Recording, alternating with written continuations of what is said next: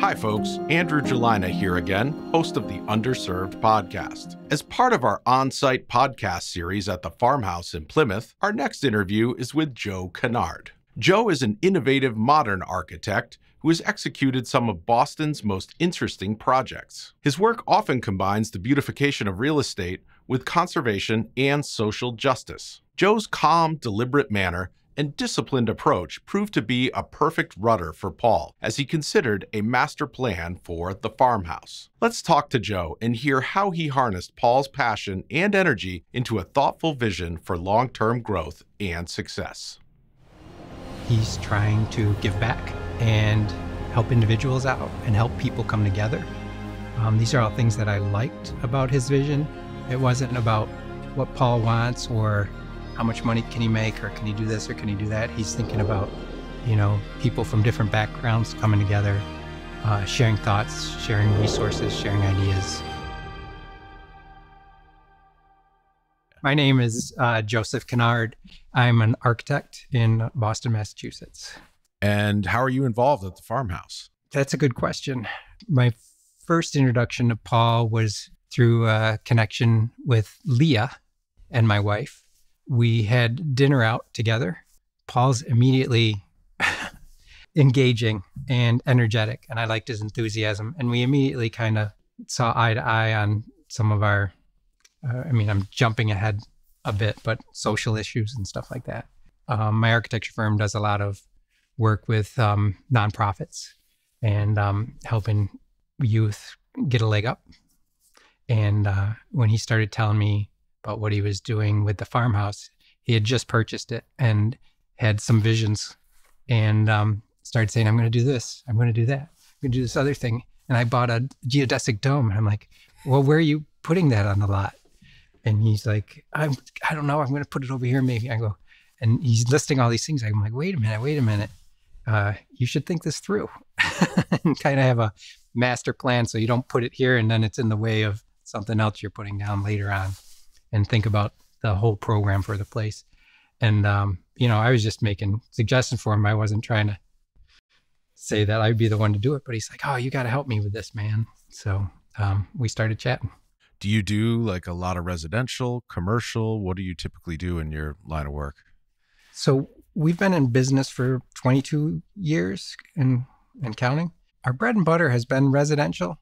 My firm is small. We like doing uh, intimate work. I like having my fingers deep into projects, and uh, we do a lot of environmentally conscious work. So whether it's low energy use, um, durability of the structure, and efficiency of materials and local sourcing of materials, reusing existing materials, because a lot of times we're reworking with an existing structure. So we'll salvage stuff out of that. And if we don't use it, we give it to another organization that finds a home for it. So we're trying to not fill landfills. We're trying to do all the components with um, what it takes to put a new house together or an addition. Um, so that's been our bread and butter. We do do commercial projects when they're interesting. We just did one for Future Chefs where we took them from a small industrial building that had carved out a little spot from and got them into a place that's probably four or five times as big as that was so they could grow their organization. And they teach city kids, high school age, um, about the culinary arts. And they uh, give them a leg up into the workforce. And they call it knife skills and life skills. Hmm. So even if the kids don't end up going in cooking, um, they've still learned that they can do things, they can affect things, they can believe in themselves. And uh, that's that's what's important to me. Someone did that for me when I was really young, and it got me to where I was. I started believing in myself. Um, so uh, anytime I can have an opportunity to give that back, I do. So we do work for Artists for Humanities, um, Future Chefs, the People's Academy, who's a trade organization, um, teach kids to get into you know union apprenticeships. What do you think about the vision that Paul has for the farmhouse? I just think he's awesome that he's trying to give back and help people come together. Um, these are all things that I liked about his vision. It wasn't about what Paul wants or how much money can he make or can he do this or can he do that. He's thinking about, you know, people from different backgrounds coming together, uh, sharing thoughts, sharing resources, sharing ideas. Um, and and I like that. And he's taking it to another thing that I can kind of grab onto, cultivating relationships, but also from the ground up, where he's talking about farming and having um, different types of farms that the kids can work on and adults can work on and harvest it and learn how to take that harvest and bring it to market or take that harvest and take it to another level and cook with it. So he's got a teaching kitchen component to it, you know, so feeding people. So it's nice because it, it's all kind of available in this one location. Um, they can have meetings here to discuss their ideas. Um, they can grow here and they can cook here. How do you think the big vision kind of gets translated into the program, the assets, the use and activation of the various elements on the property? Um, we are in the early stages of that. So, what I like to do uh, first and foremost, because Paul's like, "What's it going to look like? What's it going to look like?" You know, he's that guy. He's like way out ahead of me, and I'm like, "Slow down. I need some information. We need to do this right." So we've done what I call programming, which is listing all the things he is hopeful for for the property, and um, and also checking with local zoning and codes to make sure you can do this stuff with the property. Um, once we have that, that's what I call the playbook. It's like the rules of engagement, or you know, if you're playing football, you got certain things you can do and certain things you can't do. You need to know those before you go onto the playing field from this point forward, we're going to start to put together what I call the master plan. And that will be showing how many structures are we adding to the property? What are we doing with the existing structures? How do they get used? How do they get repurposed? What events can he do? What educational uh, components does he fit into, say, the garage, the existing garage over there, and um, event spaces that he can have out in the yard?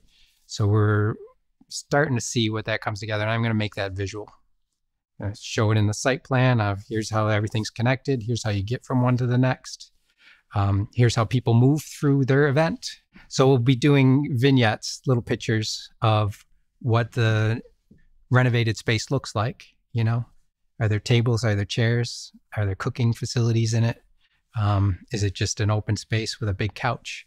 Um, does it have uh, television and communication devices so you can communicate with people offsite, stuff like that. We'll be creating those visions um, so that Paul can see it all and have a roadmap to kind of move forward with. You know, what can we get done this year? What can we get done in five years? And then what's the 10 year plan? Now, one of the things you mentioned was kind of reusing or repurposing industrial items so they're not going to a landfill. How do you maybe see that integrating into the experience here? What do you think the ethos is here at the farmhouse about that? There's a few underutilized structures here.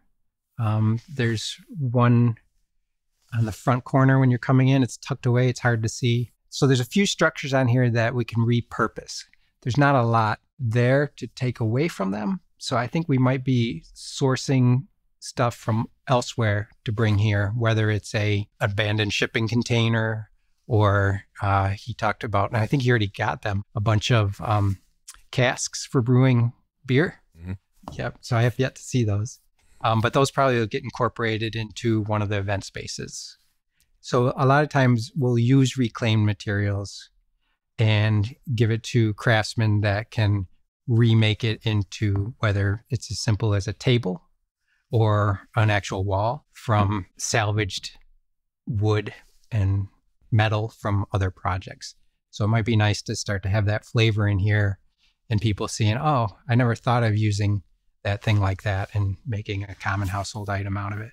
I think there's a lot already inherent into what's existing when you pull up, mainly the trees and the woods and the ocean view that reveals itself. So there's a little bit of awe in that. And maybe, maybe that's not common for some of the people coming here. So it'll be a surprise. How do you make them comfortable with that?